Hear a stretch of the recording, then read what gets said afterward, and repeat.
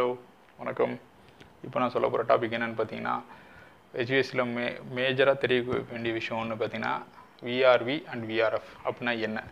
VRV சிஸ்டம்னு சொல்லுவாங்க VRF சிஸ்டம்னு சொல்லுவாங்க அப்படின்னா என்னன்னு இந்த டாபிக் சரிங்களா? அதுக்கு முன்னாடி என்னோட சேனல் சப்ஸ்கிரைப் பண்ணாமல் கண்டிப்பாக சப்ஸ்கிரைப் பண்ணுங்கள் என்னோடய கண்டென்ட் பிடிச்சிருந்தா லைக் பண்ணி ஷேர் பண்ணுங்கள் இப்போது டாபிக்கில் போகலாம் விஆர்வி விஆர்எஃப் அப்படின்னா என்னங்க what is the difference between VRV and விஆர்எஃப்னு சொல்லி நிறைய இடத்துல கேள்வி கொடுக்குறாங்க கேட்குறாங்க. இன்டர்வியூஸ்லாம் பண்ணால் அந்த கேள்வி கண்டிப்பாக கேட்பாங்க. ஓகே இந்த விஆர்வி என்னென்னா வேரியபிள் ரெஃப்ரிஜிரண்ட் வால்யூம் விஆர்எஃப்னா ஒன்றும் இல்லை sir variable refrigeration refrigerant flow சரிங்களா? எதனால் விஆர்வின்னு சொல்கிறாங்க எதனால் விஆர்எஃப்னு சொல்கிறாங்க இந்த விஆர்வின்றது வந்து நம்மளோட டெய்கின்ஸ் டைக்கின் ஏர் கண்டிஷனிங் சிஸ்டம்ன்றது வந்து வேர்ல்ட்லேயே நம்ம டாப் டாப் மோஸ்ட் ரொம்ப பழைய காலத்து டெக்னாலஜி யூஸ் பண்ணி அவங்க வந்து ரொம்ப top lead manufacture in air conditioning அவங்க வந்து விஆர்வின்ற கான்செப்ட் தான் கொண்டு வந்தாங்க அவங்க தான் ஃபஸ்ட்டு கொண்டு வந்தது. இந்த விஆர்வின்றது வந்து வேரியபிள் ரெஃப்ரிஜரண்ட் வால்யூம்ன்றது அவன் இந்த காப்பிரைட் நேமை வந்து அவங்க ஆல்ரெடி ரெஜிஸ்டர் பண்ணிட்டாங்க. காப்பிரைட்ஸ் கிளைம் பண்ணியிருக்காங்க. அதனால் வந்து இந்த விஆர்வி வந்து வேறு யாரும் யூஸ் பண்ண முடியல. இப்போ அடுத்ததாக வந்து மீதி இருக்கிற கம்பெனிஸ் வந்து கேரியரோ இல்லாட்டி ஓல்டாஸ் இந்த மாதிரி கம்பெனிஸ் எல்லாம் வந்து இந்த விஆர்வி சிஸ்டம் கொண்டு வரணும்னு சொல்லி விஆர்எஃப் என்ற பேரில் வந்து கொண்டு வந்திருக்காங்க வேரியபிள் ரெஃப்ரிஜரண்ட் ஃப்ளோ ஏன்னா விஆர்வி ஆல்ரெடி அந்த நேம் வந்து அவங்க க்ளைம் க்ளைம் பண்ணியிருக்காங்க அதனால் விஆர்எஃப்னு சொல்லி கொண்டு வந்திருக்காங்க அவ்வளோதான் வித்தியாசம் விஆர்வி விஆர்எஃப் ரெண்டுமே வந்து ஒன்று தான் சரிங்களா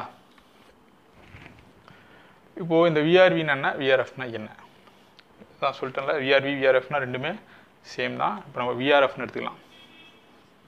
Variable refrigerant flow variable refrigerant போனால் இது ஒன்றும் இல்லை சார் நம்ம வீட்டில் இருக்கிற ஸ்பிட் மாதிரி தான் ஒரு கான்செப்ட்டு இதுலேயும் பார்த்தீங்கன்னா ஒரு அவுட்டோர் யூனிட் இருக்கும்.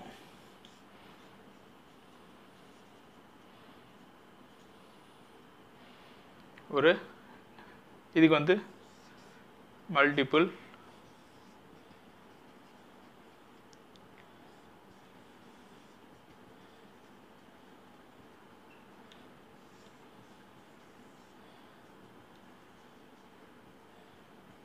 மல்டிபிள் இண்டோர் யூனிட்ஸ் வந்து நீங்கள் யூஸ் பண்ணிக்கலாம்.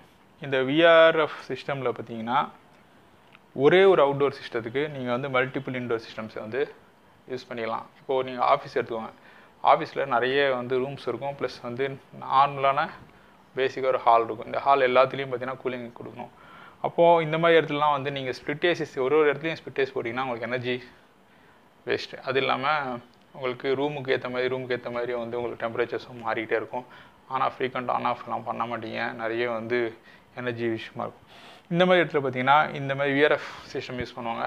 இந்த விஆர்எஃப் சிஸ்டம் பார்த்தீங்கன்னா டூ பாயிண்ட் ஃபைவ் கிலோ வாட்லேருந்து டுவெண்ட்டி ஃபைவ் கிலோ வாட் வரைக்கும் கெப்பாசிட்டிஸ் ரேஞ்சஸ் கிடைக்குது. கிட்டக்கிட்ட ஒரு six ton to seven ton இல்லை எயிட் டன் வரைக்கும் வந்து உங்களுக்கு ரெஃப்ரிஜரேஷன் சிஸ்டம் கிடைக்கும்.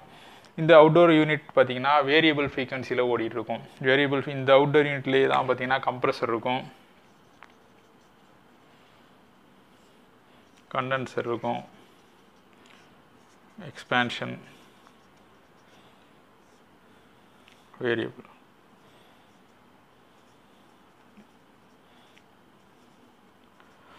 சரிங்களா? ஆனால் இண்டோர் யூனிட்டில் வந்து எவாப்ரேட்டர் யூனிட் இருக்கும். நார்மலாக ஸ்பிட் ஏசி கான்செப்ட் தான். இது அவுட்டோர் யூனிட் இது இண்டோர் யூனிட் இந்த இண்டோர் யூனிட்ஸ் வந்து நீங்கள் நிறைய டைப்ஸில் யூஸ் பண்ணிக்கலாம். இதில் வந்து ஒரு பத்து பதினோரு டைப்ஸ் இருக்குது இந்த யூனி இண்டோர் யூனிட் வந்து நார்மலாக வீட்டில் இருக்கிற ஸ்பிட் ஏசி இருக்குல்ல அந்த மாதிரி டைப்லையும் யூஸ் பண்ணிக்கலாம். இல்லைனா கெசட் ஏசின்னு சொல்லுவாங்க. கெசட் ஏசி டைப்லையும் யூஸ் பண்ணலாம். கெசட் ஏசினா ஒன்றும் இல்லை ஃபோர் நான் ஃபோர் டைரெக்ஷனல் ஃப்ளோ வந்து உங்களுக்கு கொடுக்கும். நடுவில் ஒரு வால் சீலிங்கில் நடுவில் நீங்கள் ஃபிக்ஸ் பண்ணிட்டீங்கன்னா நாலு டைரெக்ஷன்லையும் உங்களுக்கு கொடுக்கும். அதே மாதிரி இண்டோர் யூனிட்லாம் பார்த்தீங்க இது வால் சீலிங் யூனிட் சொல்லி சில அதுவும் வால் சீலிங் யூனிட்ஸ் கூட பார்த்தீங்கன்னா ஜென்ரலாக ஸ்விட் ஏசி மாதிரி தான் இருக்கும். டைரெக்டாக வாலில் வந்து எந்த இடத்துல நம்ம உட்காந்துருக்கோமோ அதுக்கு மேலே நீங்கள் செட் பண்ணிவிட்டு நீங்கள் இந்த யூனிட்ஸை யூஸ் பண்ணிக்கலாம். ஒரே ஒரு யூனிட் என்ன பண்ணணும்னா இப்போ நீங்கள் வந்து மூணு செப்பரேட் செப்பரேட் ரூம்ஸ் இருக்குது இதில் வந்து நீங்கள் ஃபஸ்ட்டு ஒரு யூனிட் ஆன் பண்ணிட்டீங்க. அதுக்கேற்ற மாதிரி ரெஃப்ரிஜரண்ட் ஃப்ளோ வந்து இந்த கம்ப்ரஸர் ஃபஸ்ட்டு சென்ஸ் பண்ணோம்.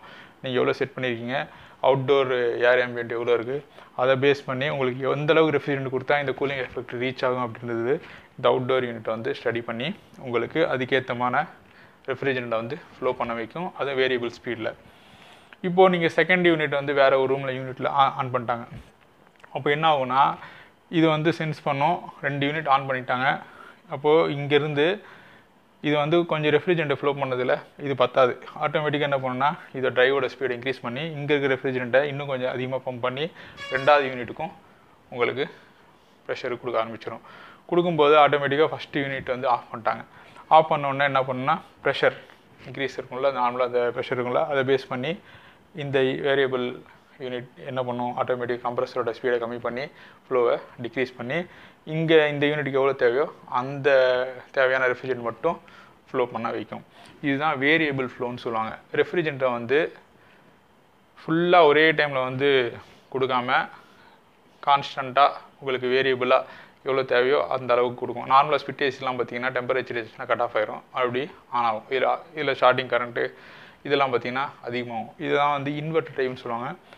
உங்களுக்கு தேவையான ஸ்பீடுக்கு மட்டும்தான் வந்து கம்ப்ரஸர் ஓடும். தேவையான ஃப்ளோவுக்கு மட்டும்தான் கம்ப்ரஸர் வந்து ஓடும்.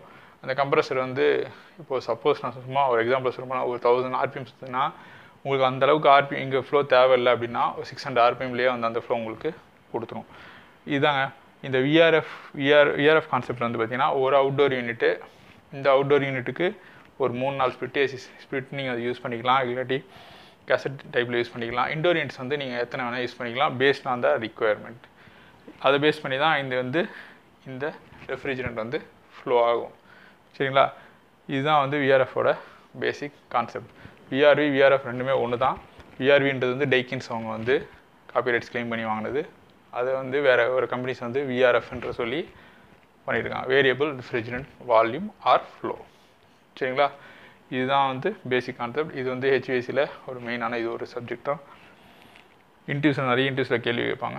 விஆர்எஃப் விஆர்எஃப்னா இந்த டாபிக் உங்களுக்கு பிடிச்சதுன்னா கண்டிப்பாக லைக் பண்ணி ஷேர் பண்ணுங்கள் இதில் ஏதாவது டவுட்ஸ் இருந்தால் கமெண்ட்ஸ் பண்ணுங்கள் என்னோடய சேனல் சப்ஸ்கிரைப் பண்ணாமல் தான் கண்டிப்பாக சப்ஸ்கிரைப் பண்ணுங்கள் தேங்க்யூ